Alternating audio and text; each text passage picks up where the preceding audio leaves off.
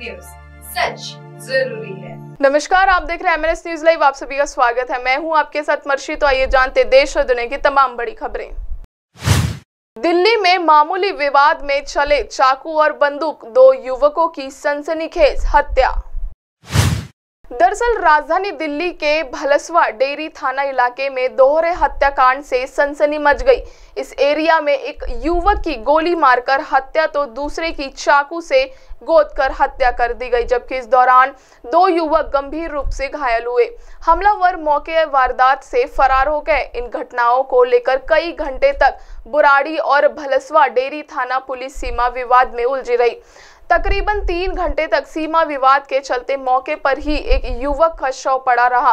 लेकिन उसे उठाया नहीं गया। घंटों सीमा विवाद के बाद भलसवा डेयरी थाना पुलिस ने मामले की जाँच शुरू की। परिजनों का कहना है कि दोपहर के वक्त से मोबाइल को लेकर शुरू हुए विवाद का खात्मा हत्या पर आकर खत्म हुआ था। इन इलाकों में दो थानों की सीमा लगने के चलते यहाँ पर नशे का सामान बेचा जाता है। उसी को लेकर कई बार विवाद होता है। ये घटना दिल्ली की कारगिल कॉलोनी और समता विहार कॉलोनी के पास हुई है, जिसमें दो गुटों के बीच जमकर चाकूबाजी हुई और गोली भी चलाई गई। इस मामले में एक युवक की चाकू लगने और दूसरे की गोली लगने से मौत हो गई है। वहीं दो अन्य युवक को चाकू मारकर गंभीर रूप से घायल कर दिया, जिनका जहांगीरपुरी के बाबू जगजीवन राम में प्राथमिक इलाज के बाद हालत बिगड़ते हुए देखे हायर सेंटर फेरर कर दिया गया है। 30 सितंबर शनिवार देर शाम कारगिल कॉलोनी और समता विहार कॉलोनी के बीच कुछ लड़कों का झगड़ा हुआ। देखते ही देखते झगड़ा खूनी खेल में तब्दील हो गया। बताया जा रहा है कि हमले में आज़ाद नाम के युवक की चाकू से गोदकर हत्या कर दी गई। वहीं साहिल और एक अन्य युवक गंभीर रूप से घायल है। किसी के साथ साथ हिमांशु नाम के एक और युवक की गोली मारकर हत्या का मामला सामने आया है। नज़र डालते हैं एक और खबर पर। अलीगढ़ में आठ साल की बच्ची की हत्या कर लाश बोरे में डाल बाथरूम में छुपाई, फिर खुद ही करने लगा था तलाश। दरअसल यूपी के अलीगढ़ में आठ साल की बच्ची से बेरहमी से हत्या कर दी गई। मर्डर के बाद बच्ची की लाश को एक बोरे में डालकर घर के बाथरूम में छुपा दिया गया। बच्ची काफ़ी देर तक घर नहीं लौटी, तब उसकी तलाश शुरू हुई, जिस आरोपी ने बच्ची का कत्ल किया वही उसे घंटों देर तक तलाश में लगा रहा। वो खुद ही बच्ची के माता पिता से कह रहा था कि अब इतनी देर हो गई, शायद बच्ची नहीं मिले। लेकिन जब पुलिस ने घर के आसपास के इलाके के सीसीटीवी फुटेज को चेक किया तो शक 20 साल के युवक सुहालीन पर गया, क्योंकि बच्ची से आखिरी बार उसी ने पैसे देकर मसाला तंबाकू मंगवाया था। बच्ची दुकान से खरीद कर ले भी आई थी। उसी के बाद से वो लापता हो गई। इसलिए शक के आधार पर जब उसके कमरे की तलाशी हुई तो ऊपर वाले वॉशरूम में बोरी में बंद बच्ची की लाश मिली। इस घटना में पुलिस ने आरोपी का साथ देने के आरोप में उसके परिवार के दो और लोगों को हिरासत में लिया है। पुलिस ये जाँच कर रही है कि कहीं बच्ची से रेप के बाद उसकी हत्या तो नहीं की गई। फ़िलहाल इसकी पुष्टि पोस्टमार्टम रिपोर्ट के बाद ही हो पाएगी। रुक करते हैं एक और खबर का। प्रेमी को चर्म रोग हुआ तो प्रेमिका ने शादी से मना किया। फ़िल्म स्टाइल में जंगल में बुला किया मर्डर।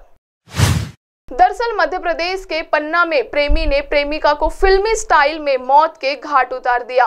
इस घटना के बाद शाहनगर क्षेत्र में सनसनी फैल गई, लेकिन पुलिस के लंबे हाथ शातिर प्रेमी के खूनी तक पहुँची गए और पन्ना पुलिस ने आरोपी प्रेमी को गिरफ़्तार कर जेल की सलाखों के पीछे पहुँचा दिया। पुलिस ने बताया कि प्रेमी, प्रेमिका से शादी करना चाह रहा था, लेकिन प्रेमिका शादी नहीं करना चाहती थी।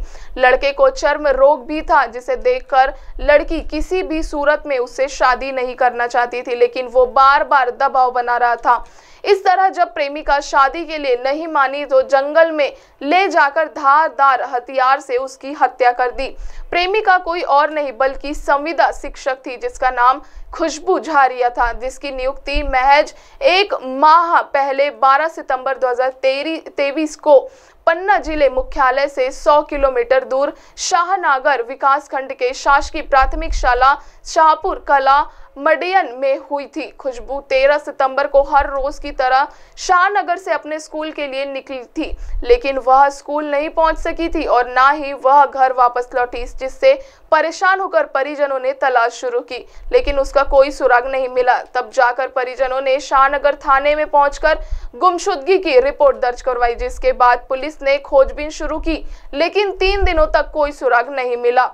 बाद में शाहनगर थाना प्रभारी को पता चला कि गुमशुदगी, खुशबू, झारिया की लाश पन्ना कटनी रोड पर निर्माणाधीन टोल प्लाजा के पास रितुआ के जंगल में करीब 200 मीटर अंदर पड़ी है, जिसकी जानकारी पुलिस के वरिष्ठ अधिकारियों को दी गई। पुलिस अधीक्षक साई कृष्ण एस थोटा ने अतिरिक्त पुलिस अधीक्षक आरती सिंह को दल बल के साथ मौके पर रवाना किया, जहाँ खुशबू का शव पड़ा गया था। उस शव पर धारदार हथियार और पत्थर के कई जख्म देखे गए। अब आप हमारे चैनल को आपके मोबाइल पर भी देख सकते हैं। मोबाइल में देखने के लिए प्ले स्टोर से M N S news TV app download करें। इंस्टा ट्विटर फेसबुक और अन्य सोशल मीडिया प्लेटफॉर्म पर हमारा चैनल उपलब्ध है। आप हमारे चैनल को लाइव भी देख सकते हैं। डब्ल्यू पर फ़िलहाल वक्त हो चुका है दर्शकों ब्रेक का। ब्रेक से लौटने के बाद देखेंगे देश और दुनिया की तमाम बड़ी खबरें। नमस्कार।